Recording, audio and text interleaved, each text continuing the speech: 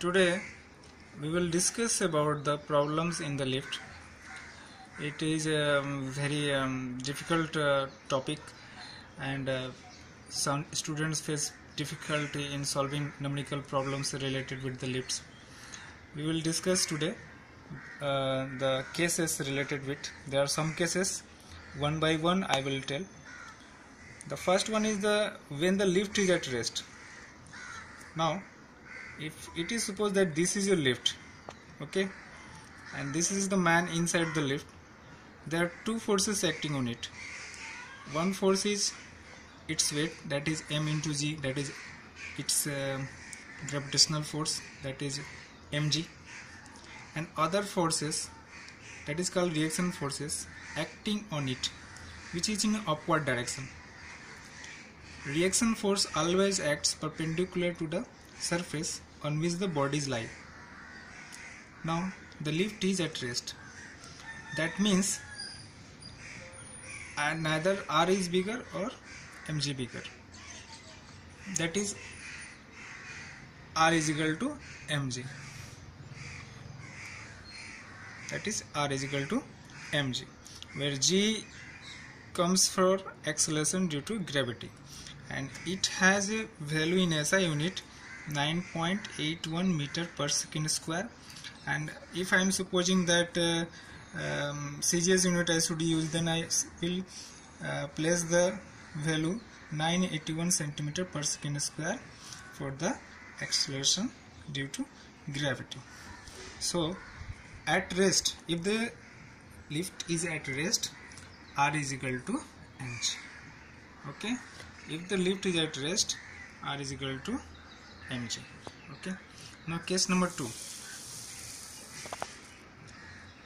when the lift is moving up or down with uniform velocity.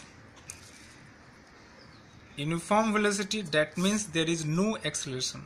And again if I am supposing that this is a lift there are two forces acting on it. One is reaction force one is its weight mg acting downward. So uniform velocity means that there is no acceleration there is no acceleration means that there is no net force acting on it. Of course there are two forces acting on it r and mg but they are equal to each other. That's why the net force acting on it is zero. Okay?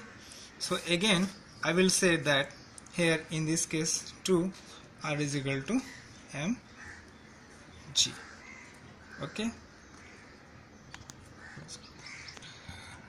The next case is case 3 when the lift is moving with acceleration in upward direction.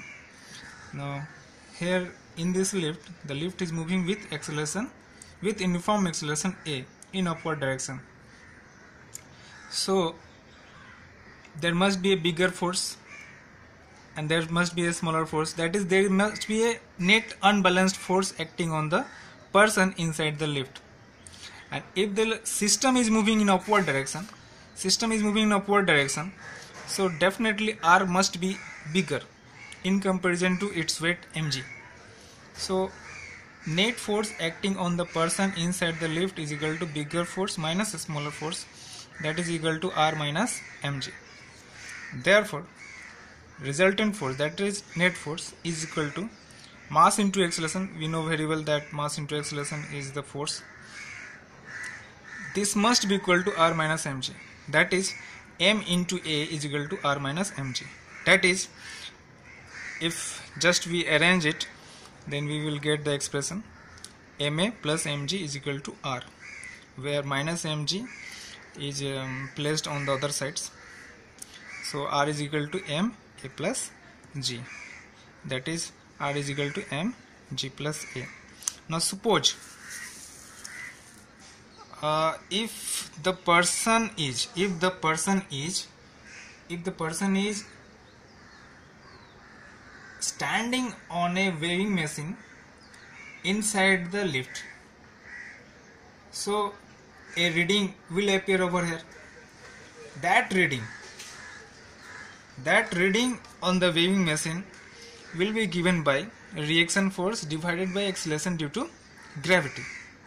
That is r by g will be the reading of the weighing machine. And it is expressed in the gravitational units. And uh, maybe if the its unit will be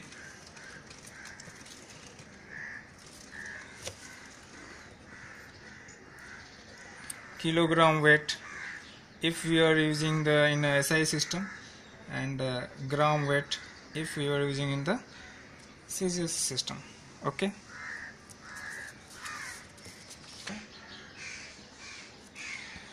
the next case is case 4 when the lift is moving with acceleration in downward direction.